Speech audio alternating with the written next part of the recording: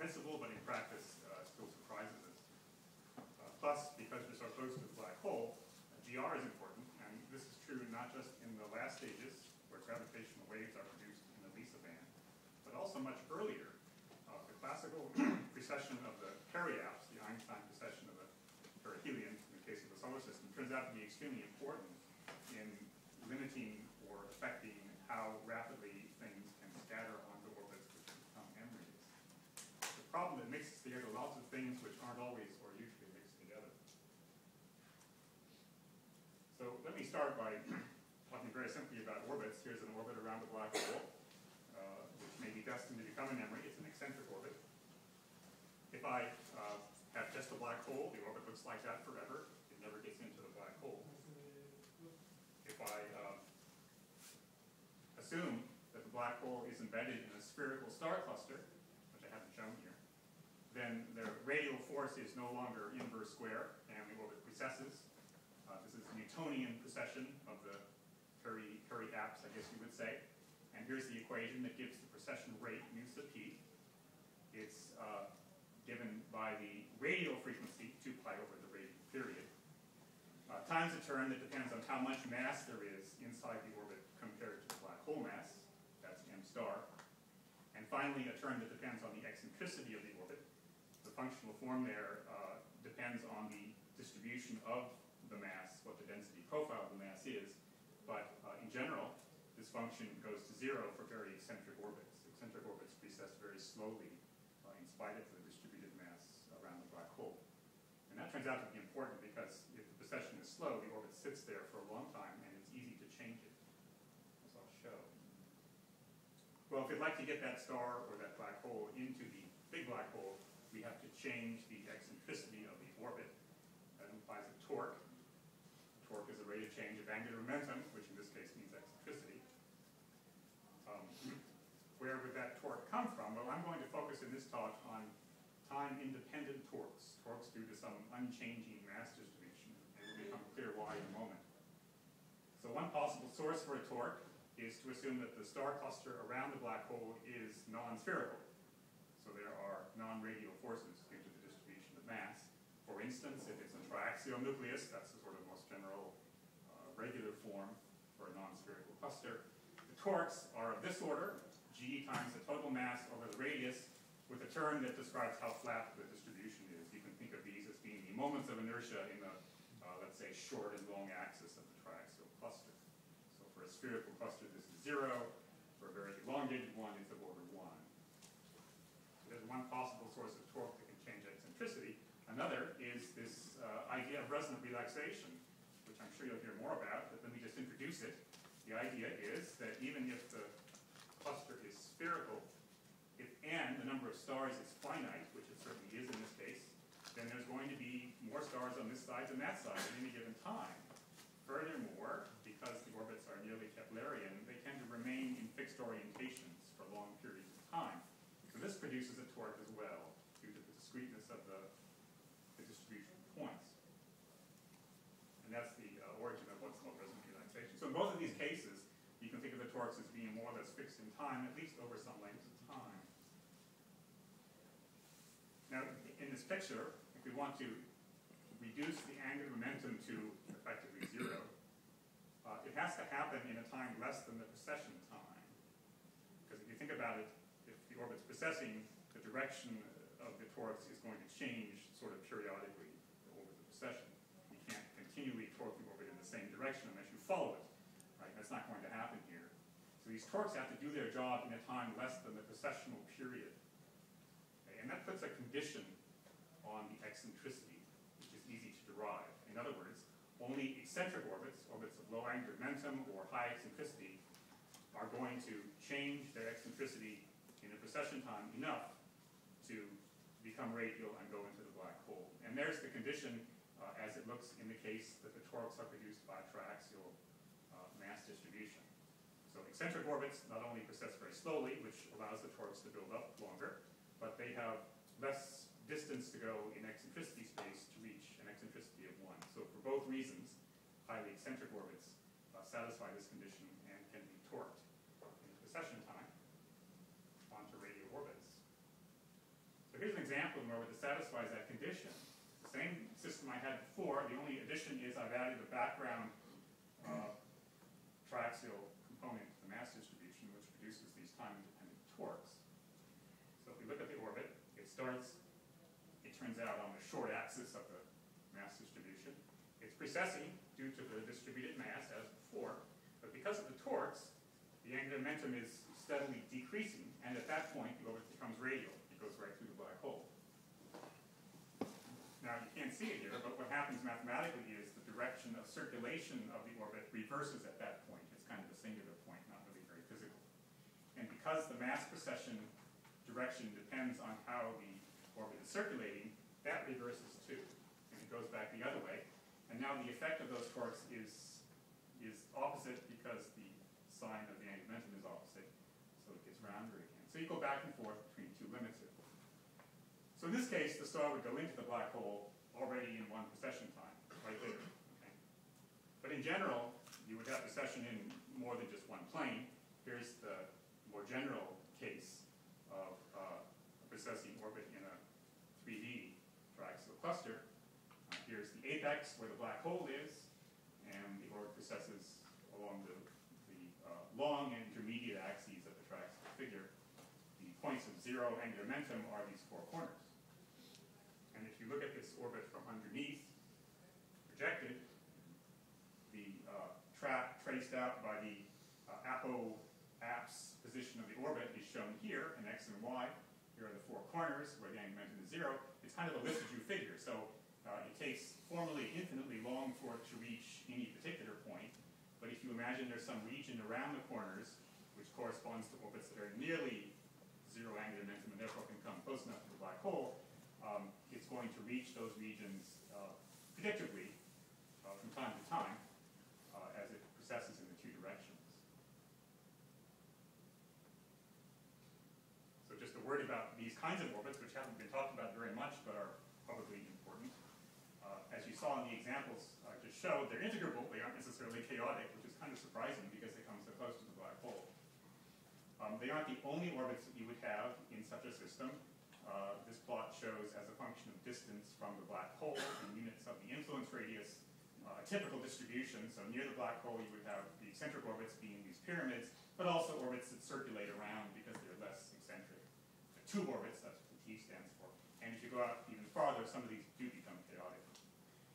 And finally, um, the time for a star on such orbit to find its way into the very center can be long, depending on the parameters of the problem. In other words, you don't necessarily empty these orbits very quickly because you've got these two precessions and it takes a long time for the star to find the uh, low angular momentum orbit.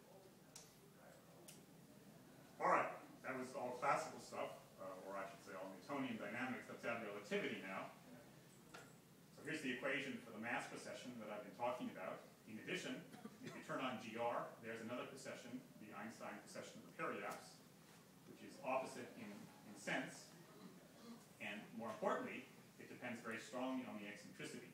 So recall that for the mass precession, uh, eccentric orbits precess very slowly, but in the case of GR, if you fix the size of the orbit, the more eccentric ones precess much faster because they come closer to the black hole where the GR is more, uh, more important.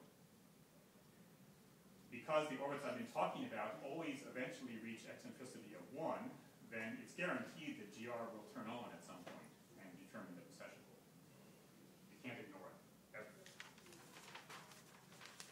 So let me show this. I'll first just define some, some parameters. The uh, dimensionless parameter that determines the, the, the size of, of GR is, is I'll call kappa. It's basically the ratio of the precession rate from GR for a roundish orbit to the precession rate due to um, uh, the mass distribution, which you can see here. The other two important parameters are the angular momentum, which I'm going to write in a dimensionless form, little l, that's just 1 minus eccentricity squared. And the terms that describe the degree of torque from the background distribution, uh, there's two of them for a triaxial ellipsoid. I, I may just call them epsilon uh, and ignore the fact that there's two. So here's an orbit where that GR term is very small. It's almost the same, but it has this nice uh, asymmetric pendants. I think Tal Christened these orbits. He called them windshield wiper orbits. I think nowadays windshield wipers don't look like this. Maybe in the old days they did. I'm not sure. We're showing our age by, by calling them that. So what's happening here? The orbit begins by precessing due to the mass term, as before. Torques are making it more eccentric. There comes a time when it's so eccentric that now the GR precession is beginning to dominate. And notice it doesn't become completely radial, because when the GR turns on, that precession is in the opposite direction, so it kicks it back. Okay? Now, you couldn't see it, but um, because the orbit didn't reverse its sense of circulation, the torques continued to make it more eccentric. It reached its maximum eccentricity here and not here. And then became less eccentric, at which point the GR precession turns off, so to speak, and the mass precession takes over again. And this plot shows the eccentricity versus time and the angle of the periapse versus time. So kind of uh, remarkably, the, both the maximum and the minimum eccentricity for this orbit are reached at the same point when it crosses the short axis, although in different phases. The basic point here is that GR limits how small the how large the eccentricity can become, because when you reach that critical value, um, you suddenly precess much more rapidly due to GR, which doesn't allow the torques to build up any longer. Would that still be true if the orientation had, weren't, and it were somewhere, were, were, were rotated relative to the The, the, potential? the torques only work in the right sense if, in this case, if you start along the short axis. Orbits that would start other places would become, would belong to other families, like those circulating tube orbits, which aren't as interesting from our point of view. So I'm not gonna. If I increase that GR term, now it precesses uh, not as far before the GR turns on the GR is low. This is like making the orbit smaller, closer to the black hole with the same initial eccentricity. So the minimum angular momentum or the maximum eccentricity is not as extreme as it was before. The GR is limiting you even more. If I increase kappa again, now I'm close to the critical value at which the GR precession rate just matches the mass precession rate, and because they have opposite signs, they can cancel. And they're almost doing so here with very little change in eccentricity. If I turn up GR even more, dominated by GR precession always. And this is an example uh, I alluded to earlier. The torques have very little chance to build up here. They're changing signs so rapidly that there's very little evolution in momentum. and if I do this in, in three dimensions too, um, the orbits look sort of like pyramids, but there's now these two different uh, parts of the trajectory, um, which you can see reflected here. And you do sometimes find chaos associated with the GR terms, but most of what I'll have to say uh, is, is independent of that.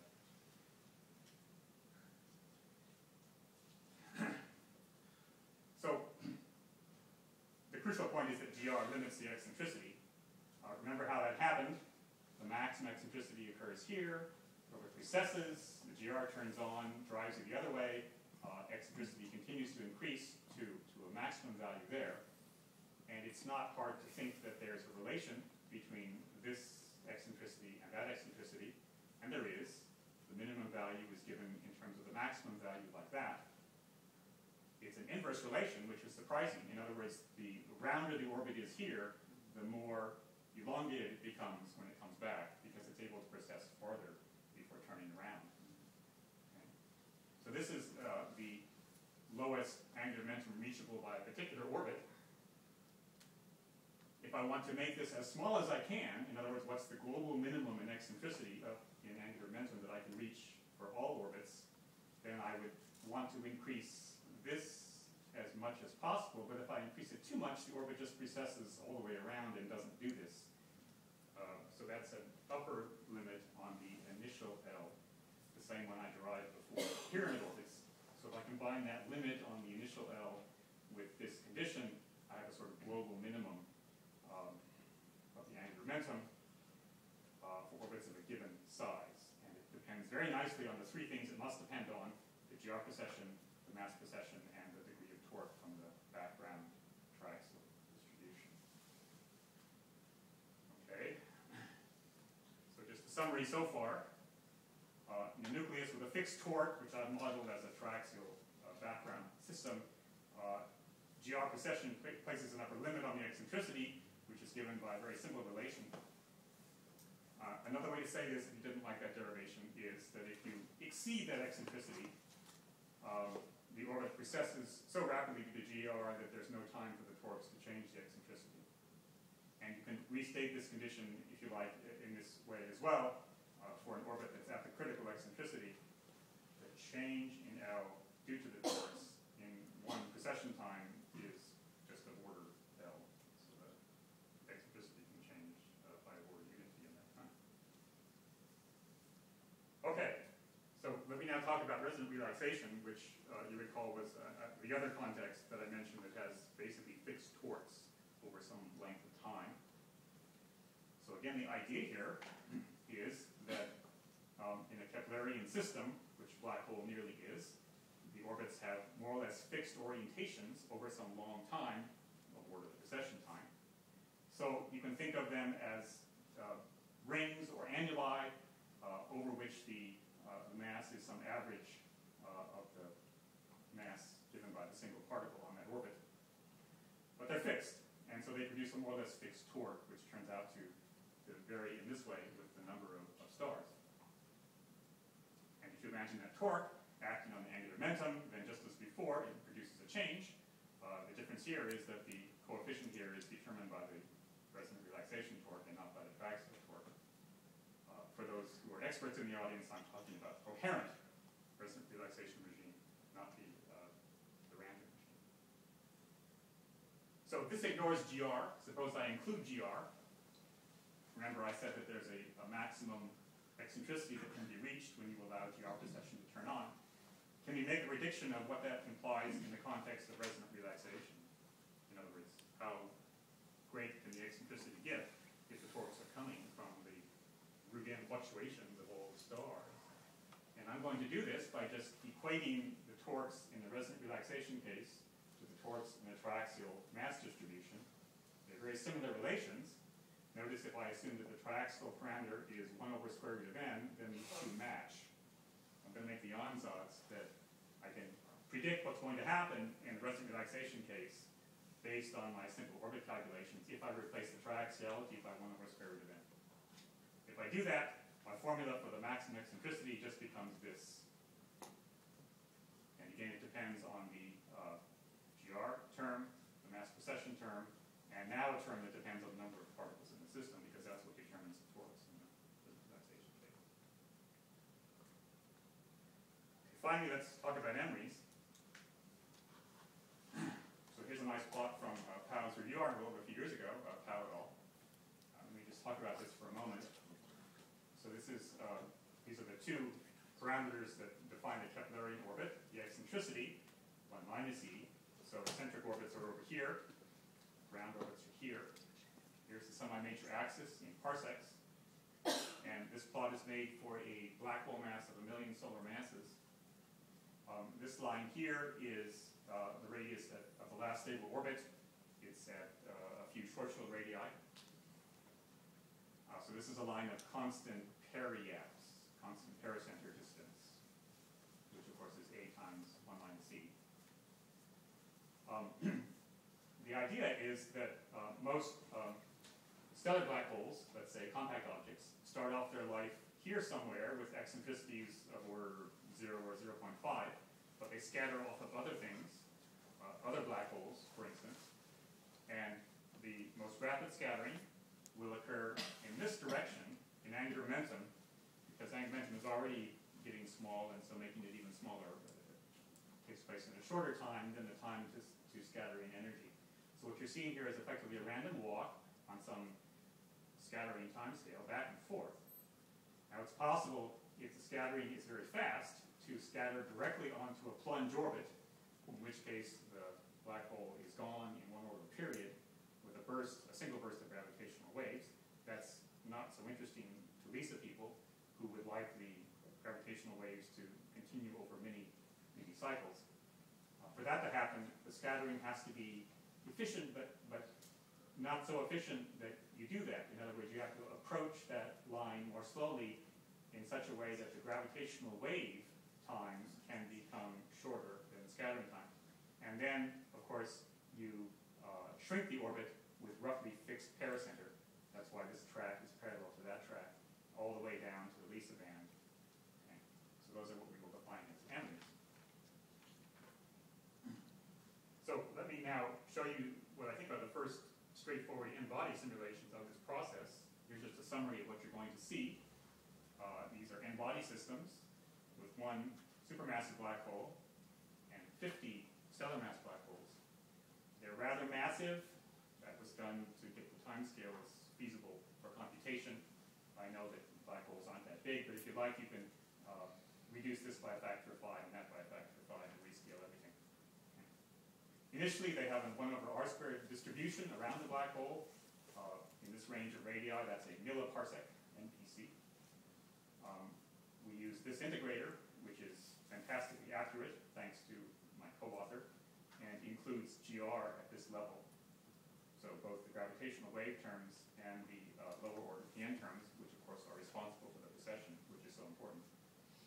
And the code defined the black hole as captured if it came at any time within this many Schwarzschild radii of the black hole. So both rapid plunges and slow inspirals would occur.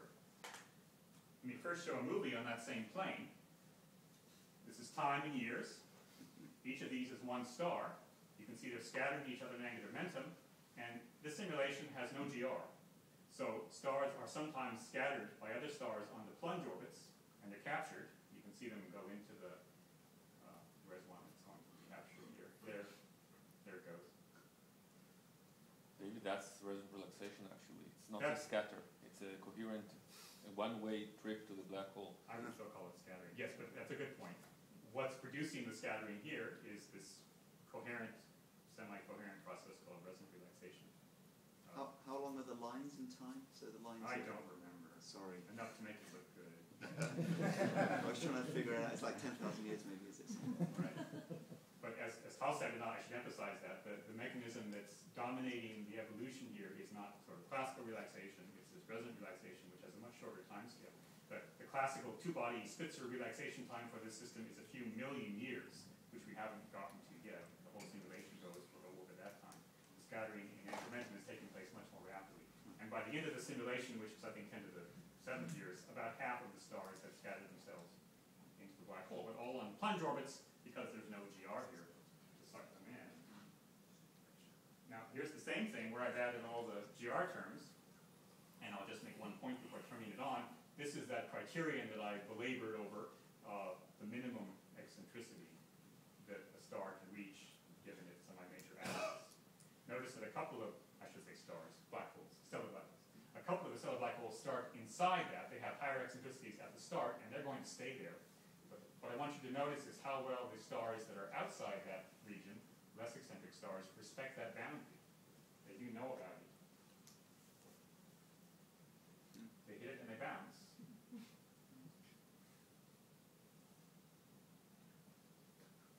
And this is the sense in which GR, even at the 1 PN level, is crucially important because notice this big gap here that stars are avoiding, that black holes are avoiding. This star temporarily got over the boundary. This one is going to become an EMRI. It escaped. It's now undergoing continued scattering back and forth. In a moment, it'll come close enough there. That's the only one you're going to see. The EMRI rate is much lower than what you would naively predict based on how rapidly things in the previous movie uh, evolved to this line, and that's because of that. So let me show it once more, and just emphasize what's going on as, as uh, stars evolve to high eccentricities, the GR precession time becomes so short that they're just precessing wildly, and the torques from the other stars no longer are effective. Um, You could ask, why does this one escape the boundary? Well, there is other relaxation going on besides resonant relaxation. And that's a very vague statement, which I don't really feel comfortable with, maybe Tal will elaborate in his talk tomorrow. But um, you could imagine that just the fact that there are discrete stars uh, will sometimes lead to a close encounter, uh, which isn't, isn't well described by resonant relaxation formalism, and that's presumably what's causing these rare Emerson events. Okay, um, this just summarizes a, a bunch of such simulations, my last slide, I think. This shows over time the uh, time average rate, in other words, the average over times up to the time plotted of events, either plunges or EMRIs. So in the first movie, that's this plot here, there was no GR, so no EMRIs. The plunge rate was high and drops off slowly with time because you're losing black holes into the big black hole. I didn't show this, but if I add just the dissipative GR term, the 2.5 PN term, then I get some EMRIs. But only a small fraction of the total events are EMRIs. If I then add the full GR, and that was my second movie, plunges have gone almost to zero. That's because of that barrier. Uh, and the EMRI rate is, is somewhat smaller than it was uh, in the absence of the 1 and 2 PN terms. Um, what I'm showing here is that if I were to naively compute the EMRI rate based on kind of standard theory, like the theory that Tal will talk about, I find a much larger number. In other words, the simulations seem to show that the EMRI rate is rather lower, maybe a factor of 5 or 10, than you would conclude based on standard formulae for this problem. Um, I've been debating with Tal what this means for several days, and we still don't know. I believe the result, is robust from an n-body sense, uh, but I'm not sure what it means uh, physically.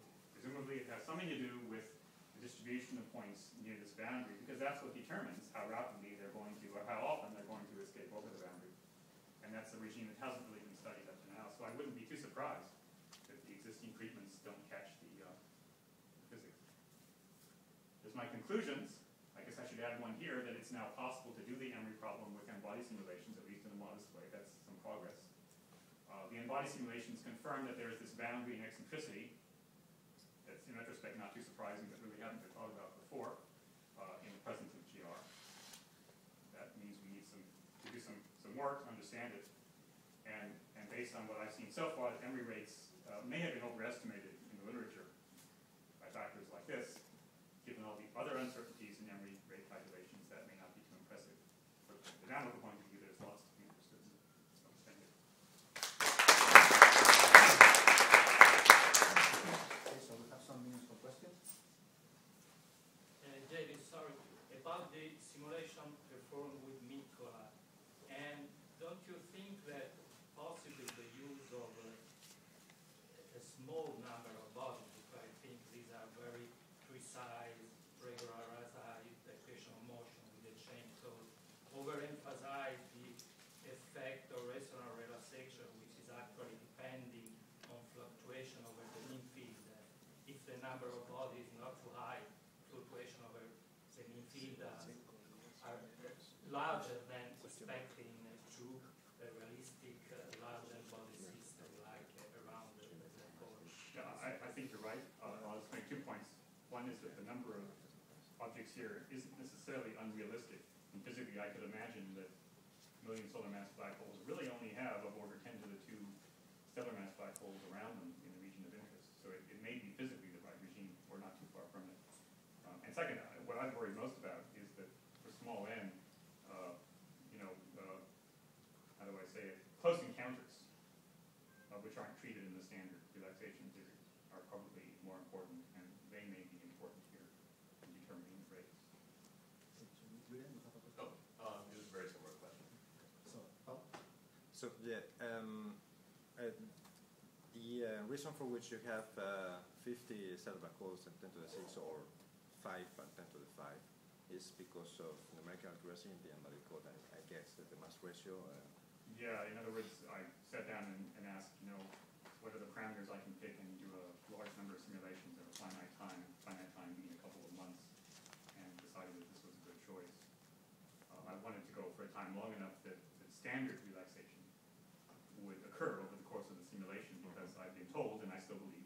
basic time scale over which all this EMRI rates happen. Um, and that's what determines the mass ratio that I use. So do you think that that HSS are very sensitive to that particular uh, the problem? I guess all I can say is that in principle, all of the various dynamical processes have an independence which I think I know. So in principle, I could answer your question, any particular question, by saying if I varied in, you know, with various terms uh, change in terms of the relative size. Uh, but yeah. in principle, yes, it, it does matter. And um, probably I, I missed it, but uh, did, did you talk of what, what is the initial conditions for that particular n-body? Uh, It was uh, density of rho r to the minus two yes. in a range of about hundred in radii. And the distribution of the the initial dis- distribution of centricities for the black holes was were okay. Okay, so while we change the computer, so that the some uh, question. But the background eccentricity changes, do you destroy the family of orbits, or do you still have these orbits that run at orbits? So what was the question, Fred? If you, if the background eccentricity changes with time, how does it affect Sure, the, um, family orbits? Do you Yeah. still get these, or do you? the, uh, if you have a system that's